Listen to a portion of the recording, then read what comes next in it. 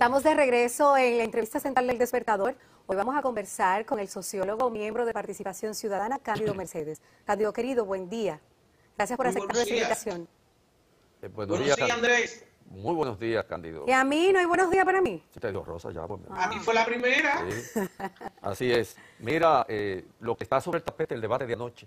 ¿Qué te pareció el desempeño de los candidatos? Hay eh, muchos señalamientos, hubo muchas propuestas, hay muchas eh, promesas e incluso políticas de Estado eh, que se reiteran en términos de lo que son las promesas de los candidatos. ¿Tu opinión? Lo primero que no es un debate. Acuérdate que un debate implica dos o más personas. Por supuesto. Eh, al mismo tiempo, planteando ideas y opiniones.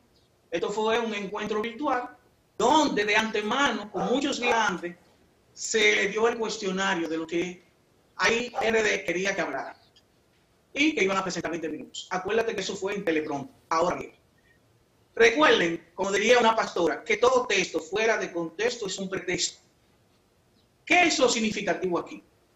Cuando Sergio Juan Marrancini habló, que fue el primero que habló, planteó que se le había formulado. Entonces, para yo evaluar a los tres candidatos, tiene que ser en base a lo que de ellos esperaba en función del cuestionario que le dio. Cándido, antes de usted evaluar cada una de esas intervenciones de esos tres candidatos, échese un poquito para atrás porque está cortando la cabeza el tiro. Entonces, para que usted salga completo, claro. Ahora sí, vamos con la evaluación. Gracias. Fíjate entonces, hubo un cuestionario previo con muchos días antes a cada candidato y ellos tenían que responder en función de eso. ¿Cuál es el contexto? El contexto en este caso es el desafío de las industrias en República Dominicana. Y como dijo Luis Abinadel, por ejemplo, el mundo de la manufactura en República Dominicana representaba el 25% del Producto Bruto Interno. Hoy está en 10. En 10. ¿Y qué ocurre? Que se le planteó hablar de la economía circular se le planteó hablar de la cuarta revolución industrial, que es el proceso de desarrollo tecnológico vinculado a la industria en tanto que proceso de organización y desarrollo de los medios de producción. Andrés sabe que en el 1995 el gran gurú de la gerencia moderna, Peter, habla hablaba de la sociedad postcapitalista, en el que en el mundo ya no sería lo más importante tierra, trabajo y capital, sino el medio de producción por excelencia vital en la sociedad del conocimiento es el cerebro. En consecuencia, el candidato oficialista ni te habló de competitividad, ni te habló de economía circular. ¿Qué significa la economía circular? Es una estrategia para reducir los materiales vírgenes combinados con los desechos sólidos para crear una construcción de bucle. Usted ha, visto a, nuestra amiga Rosa Encarnación a veces con ese, ese bucle, ese moño, con ondas y ondulaciones, para reducirla, cerrarla en un proceso económico y ecológico que genere más recursos. Y eso implica hoy en día las nueve R repensar, reutilizar, reparar, restaurar, remanufacturar, reducir, reposponer, reciclar y recuperar. De eso se trata en el mundo industrial. ¿Cómo vamos a exportar más? En consecuencia, hay un candidato que sus asesores, de verdad, parecería que no son buenos asesores porque de ocho puntos que tenían que hablar, él dejó de hablar de cuatro puntos esenciales. y sobre todo pero la ciudadanía no lo percibe así. Fue el que sostuvo propuestas más populistas, de hecho. No, no más populistas, no, súper populista de Gonzalo Castillo. Súper populista. Eh, Margarita yo, asistencia social, era que tú tenías. Óyeme, es mal alumno porque cuando a ti te dan todas las preguntas, tú puedes responder, tener todas las respuestas. Y entonces sus asesores fueron muy malos. Hay algo que ustedes no han notado. Hay un planteamiento extraordinario para la República Dominicana, que es el silencio administrativo. ¿En qué consiste el silencio administrativo? Silencio administrativo significa que si Andrés va a crear una empresa y lleva, por ejemplo, todos los documentos a un ministerio, si esos documentos no han sido firmados en los próximos, para decir algo, 15 días, esos documentos quedan automáticamente aprobados. ¿Qué ocurre en el mundo de hoy? Y por eso ustedes ven que en el Foro Económico Global y en el índice de percepción de la corrupción, República Dominicana queda en el quinto país de toda América Latina y en el octavo país del mundo en materia de corrupción. Y en términos institucionales sacamos 92 en el Foro Económico Global, pero cuando medimos lo institucional sacamos 111. El silencio administrativo. ¿Qué significa? Andrés va toda la semana a ver si le aprobaron los papeles y nada. Andrés va toda la semana y nada. Ya tiene un año, dos años su papel ahí. Hasta que se le acerca a alguien y le dice, tú sabes, tú sabes. El soborno. Tú sabes lo que es. Eh, eh, entonces, silencio administrativo sería una revolución en términos de un Estado más ágil y más eficiente. ¿En qué se quedaron cortos Leonel y Abinader? Si tú me dices a mí, como profesor universitario, ¿qué nota tú le pones? Yo le pongo a Abinader 90. Acuérdense que era 20 minutos. No me critiquen el discurso de los tres en base a lo que debieron decir. Era 20 minutos. Es sobre lo que dijeron. 20 minutos para tú hablar de todo un programa. Entonces, un 90 a Abinader, un 85 a Lionel, abarcó todo lo que le pidió la industria, y al otro le pondría un 55, un 60. Bueno, una pregunta que te quiero hacer ahí en ese punto, un poco siguiendo lo que señalaba Rosa. ¿Qué echaste de menos en el discurso de los tres? O sea, ¿qué fundamental para lo que va a ocurrir después que pase la pandemia que no estuvo en el discurso de cada uno de ellos? Sí, pero tenemos que ser lo más objetivo posible. Acuérdate que AIRD le suministró a ellos un cuestionario de ocho preguntas. Y en base a eso que ellos tenían que responder. Pero Para tú evaluarlo tiene que ser en función de lo que ellos debieron decir en función del cuestionario de AIRD. Tú citaste a Peter Drucker. No de lo que yo creo que debieron decir, porque eran 20 eh, minutos pero, y 8 preguntas. Ok, tú citaste a Peter Drucker al inicio de tu exposición. Y todos sabemos lo que Peter Drucker significa en materia de organización del aparato inteligencial que caracteriza el mundo posmoderno. Ese aparato inteligencial que caracteriza el mundo posmoderno mantiene una relación estructural entre casi todos los factores. Aquí hubo exposiciones muy elocuentes, incluso vinculadas con la idea de Peter Drucker, al que tú citaste al principio. Pero hay algo, o tiene que haber algo que faltó eh, en términos de desencadenamiento necesario para producir la arrancada del aparato económico de un país que está postrado en este momento desde el punto de vista de su economía?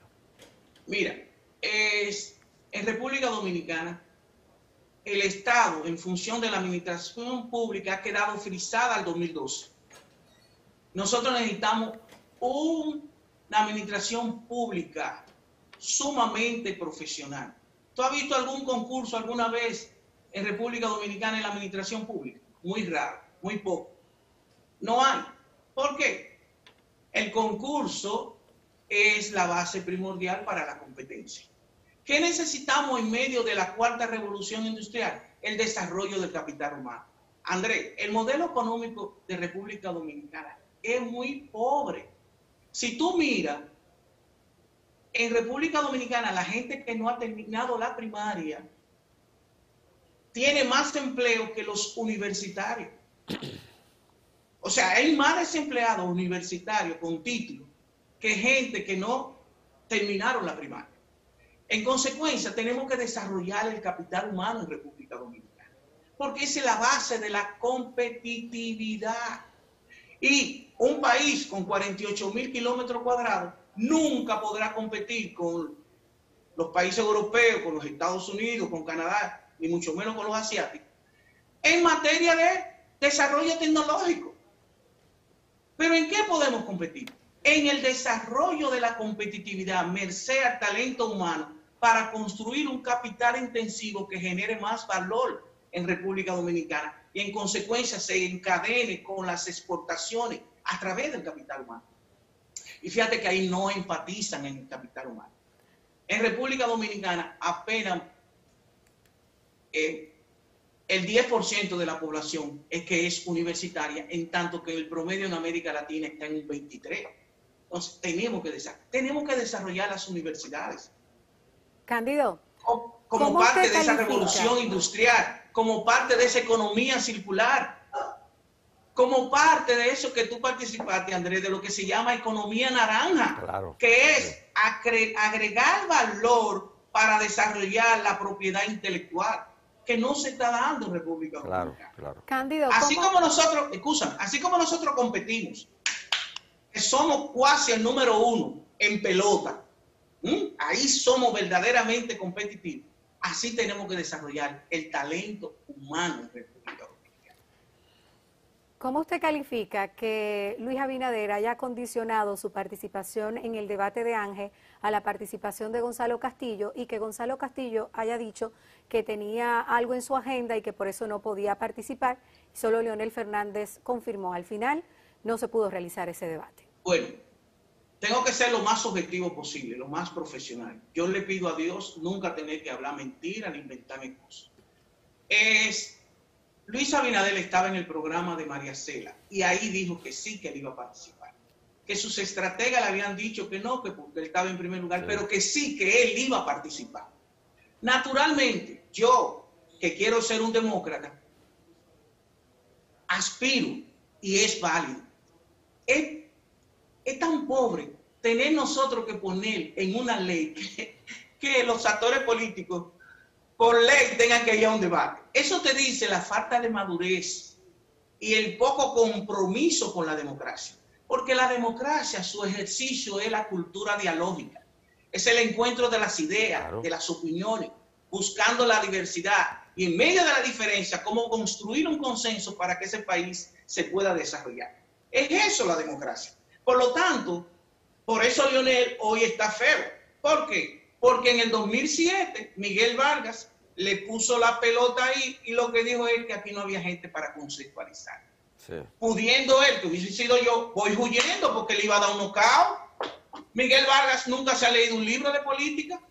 Entonces Lionel tuvo esa gran oportunidad. Pero el poder, como decía el hombre de 100 años de soledad decía, Gabriel García el poder como la fama nos hacen perder el sentido de la realidad. Entonces, fíjate cómo perdió esta oportunidad. Desde el punto de vista político, lo de Luis Abinader es correcto. Si alguien me pregunta acá, no es que yo esté de acuerdo, porque yo soy un demócrata y yo iría a cualquier espacio. Lo que pasa es que políticamente Fíjense lo que Temístocles Montá dijo. Él va ahí, él va ahí. Por suerte había un tiempo límite para definir. Si lo dejan sin tiempo límite, el PLD hubiese dicho, él va ahí, él va ahí, para que aquellos dos se comprometieran. ¿Qué ocurre? Abinadel y Leonel son de la oposición. Sí. Se van a desfigurar el hecho en el cuadrilátero civilizatorio, como yo le llamo a un debate, y lo del PLD mirando. ¿Quién va a bajar o quién va a subir? Al final, como quiera, ¿a quién le convenía? A Gonzalo Castillo, que esos dos fueran, por esos dos son de la oposición. esos son los dos que si hay una segunda vuelta van a trabajar. El, debate hubiera políticamente, sido. El debate, el debate hubiera sido solo entre la oposición y eso no tiene sentido. No tiene sentido. Dadas las características, eh, las características incluso del proceso político que estamos viviendo. Pero fíjate qué manipulación. Todavía hoy frente al grupo Corripio, ellos no han dicho que... No, y yo dudo que vaya. porque son dos horas. El grupo Corripio está anunciando entrevista por dos horas a partir del 23, 24, me parece que es. Sí, pero son dos horas sin papeles, sin telepronte, sin y con preguntas de, los periodistas de las televisoras y los periódicos que pertenecen al medio Corripio. No, y sin teleprompter, sin, sin nada, eso es verdad. Él, él. Ramón Núñez, eh, Amelia de Chan, bienvenido Álvaro Vega, Juan Bolívar, José Monegro, o sea, dos horas de cuatro rondas de 25 minutos. O sea, él no va a ir. Bueno, esperemos que vaya. porque... Eh, Ayer era 20 minutos en teleprompter leyendo y eh, aún leyendo, señores. esos asesores de Gonzalo Castillo una pregunta... porque de ocho puntos dejó de hablar en cuatro, que eran los fundamentales para la AIRD, que es la cuarta revolución industrial. ¿Cómo los dominicanos vamos a exportar más? ¿Cómo vamos a innovar? ¿Cómo vamos a crear la economía circular? Porque en el cuestionario está la economía circular, está lo de la cuarta revolución industrial. Y nada de eso el candidato oficialista lo habló. Bueno, una pregunta al margen de la comparecencia de los candidatos anoche en la Asociación de Industria de la República Dominicana.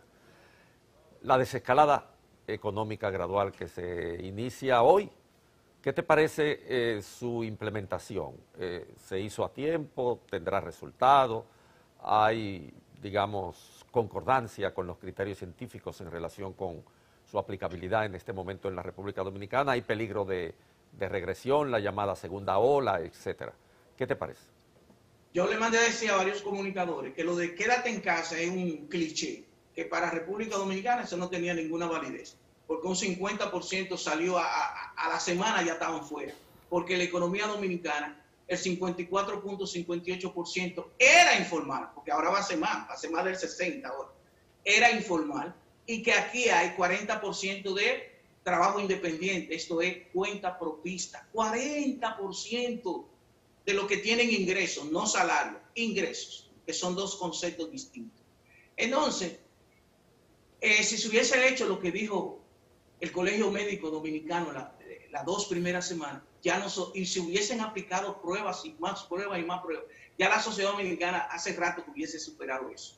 Pero, y se lo digo honestamente y responsablemente, en República Dominicana hay una manipulación con esto que está pasando.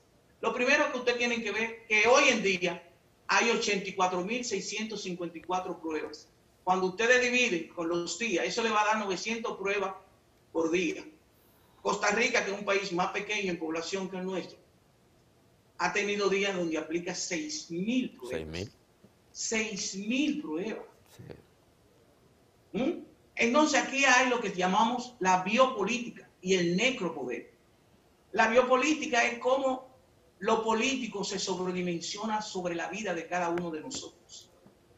Hay una agenda oculta. ¿Para qué? Para en medio de esta campaña electoral dentro de 10 o 15 días aplicarte 3.000, 4.000 pruebas, suben los, los contagiados y entonces mucha gente va a tener miedo. Eso se está dosificando en República Dominicana. Se está dosificando y es el papel de cada uno de nosotros denunciar. 900 pruebas por día promedio. A veces duran 10 y 15 días para darte la respuesta. Eso no es concebible. Ustedes vieron lo que hizo Corea del Sur. Señores, Vietnam tiene 97 millones de seres humanos. Y hasta los otros días lo que tenía era 325 contagiados y ni un muerto. Y tiene frontera con China 1.400 kilómetros. Entonces, es eso. Entonces, alguien me decía, este pueblo es muy imaginativo. Alguien decía, entonces, el virus nada más ataca de noche. Porque de día, eh, eh, yo ando en la calle todos los días. Aquí lo único que hay que hacer, señores, rompamos el miedo. Si el ser humano usa su mascarilla y a dos metros de distancia de otro, nadie. Si Rosa Encarnación y Copérnico tienen virus, yo puedo hablar con ellos si yo tengo mi mascarilla y estamos a distancia. No, pero mi casa se llenó de gente el Día de las Madres. Yo ahí puse el protocolo. Yo le puse el aparatico a todo el mundo. ¡Fua! Nadie tiene fiebre por encima de 37. Ok, tú te sientas allí, tú te sientas allí. El supermercado nacional, donde va André mucho y yo, yo fui sábado y domingo y aquello era demenciar de gente. Estaba lleno, lleno. Ya, no, ya no te ponen que 5, 10 entrando en fila. No, todo el mundo entra. Ahora todo el mundo tiene su mascarilla, señores. Ahorita yo voy a salir a mirar. Yo he visto de 100 gente, dos no tienen mascarilla. Cuando me acerco a uno de los dos que no tienen mascarilla, hay uno que es enajenado mental. Es decirle a la gente que no, que el virus no se pega si usted tiene mascarilla y tiene la distancia física, no la distancia social. Ese concepto es discriminatorio. Discriminatorio, sí. No es distancia social, es distancia interpersonal, física. Cándido, esta crisis provocada por el coronavirus ha beneficiado o no al candidato oficialista? ¿Considera usted que ha subido eh, en cuanto al favor del electorado se refiere o no? todas las encuestas te dicen que sí que ha subido. Algunas te dicen que subió tres, como la que eh, salió ayer, tenía 30, en la de mercadeo, mercado y cuantificaciones tenía 30 y ahora tenía 33. Eh, Abinader tenía 52.7 y ahora tiene 51.3. O sea, en una sociedad donde el grado de escolaridad es sexto de la primaria y donde al pobre de hoy no se le está educando en base a la dignidad, porque yo era muy pobre, pero yo oía siempre, yo soy pobre pero digno, yo soy pobre pero honrado. En República Dominicana, acuérdense, le voy a hacer una, eh, una metáfora. Cuando llegó la pandemia, Danilo Medina se arrodilló y dijo, gracias pandemia, gracias, porque no hay lugar a duda que el Estado, es todo el Estado a favor de un candidato. De hecho, han quitado el papel del Estado y lo ha asumido Gonzalo Castillo. Por eso tenemos que decir la siguiente frase de Pepe Mujica. Aquel candidato que te regala cosas para que le siga. No es un buen líder, es un comerciante de la política. Aquel que te da algo a cambio de tu voto es un comerciante de la política. Y el pueblo debe ser sabio y saber que esos comerciantes de la política son los que han destruido la política. Y queriendo dar más, ¿para qué? para accesar al Estado para saquear. Recuerden, el pecado no consiste en recibir lo que te dan. El pecado está en votar por esos comerciantes de la política, que han hecho de la política el necroclientelismo.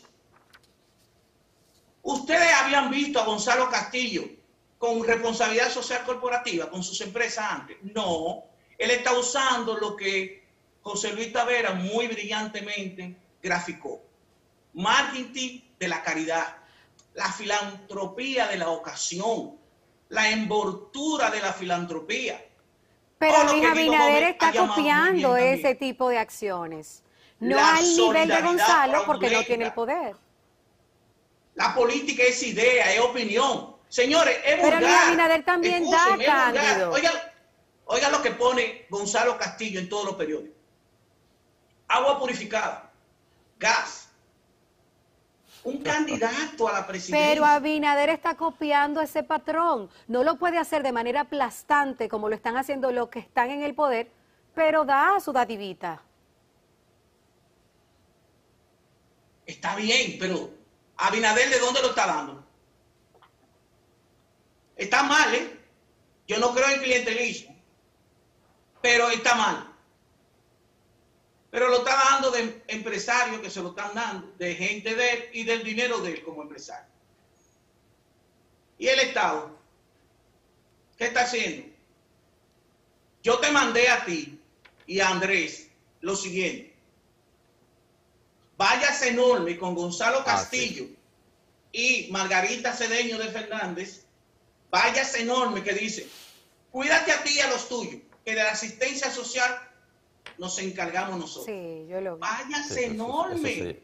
Todavía el PLD está discutiendo si Margarita Cedeño debe renunciar o no. No es a la vicepresidencia, porque los cargos electivos no pueden renunciar ni pedir licencia.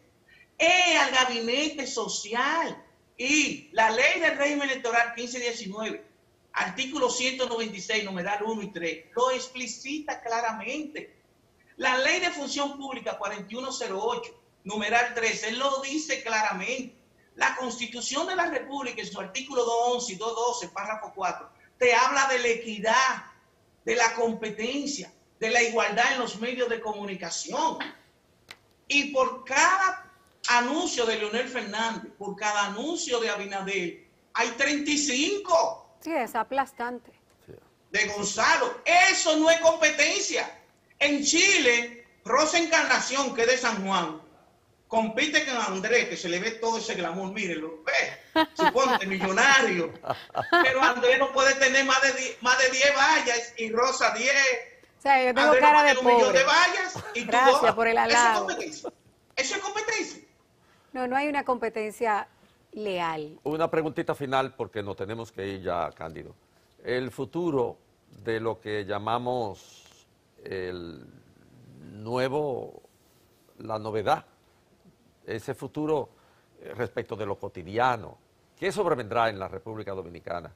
Así, muy rápidamente de síntesis. Sí, es sumamente sobrecojador, Andrés, porque tenemos República Dominicana quedó con más de 2 millones de desempleados. Terrible. Eh, los recuperados de aquí a diciembre, de esos 2 millones, no va a pasar de, de un millón.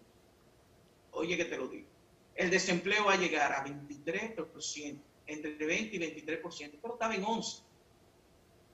A 23% el desempleo. Solo por ahí es una agudización de la crisis social. La crisis económica no se va a recuperar así tan pronto y mucho menos va a llegar en el 2021 y que al 8%, como decía el candidato. Anoche sí. ¿Por qué?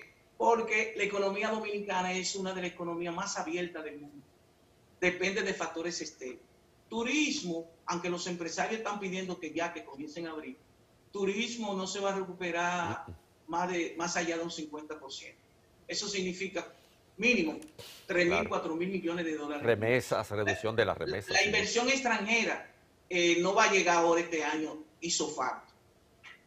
En las remesas van a bajar entre un 25% más o menos. Porque, y llegan más, porque en esos países, sobre todo en Estados Unidos, hay lo que se llama el seguro de desempleo. Que la Estrategia Nacional de Desarrollo, en su artículo 31... Ya debió estar vigente aquí, debió estar vigente. Mírenlo ahí.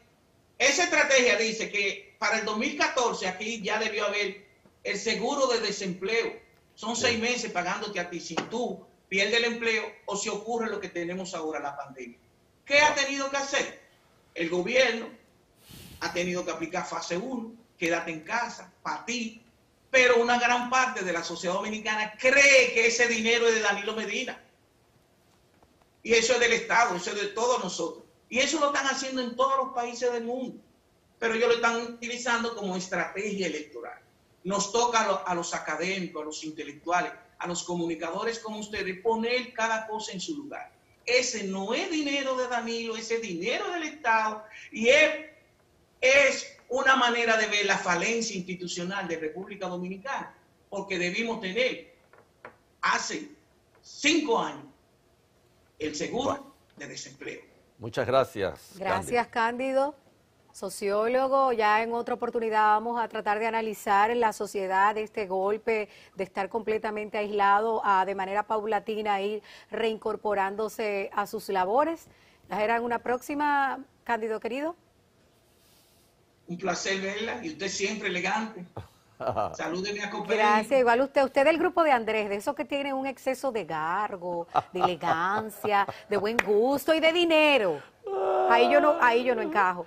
Eh, es, que nosotros estamos muy bien, pero tenemos mucha sensibilidad en el compromiso con esta sociedad. Yo estoy muy bien. Ay, y humilde que es. Cándido, gracias, sociólogo, miembro de Participación Ciudadana, por estar con nosotros en la entrevista central de este miércoles. Momento de una pausa, muchas orientaciones hoy. Vamos a hablar en el Rincón del Consumidor, también de esa reapertura en el Poder Judicial y tras la pausa, nuestro compañero Severo Rivera con todas las novedades en el mundo del entretenimiento.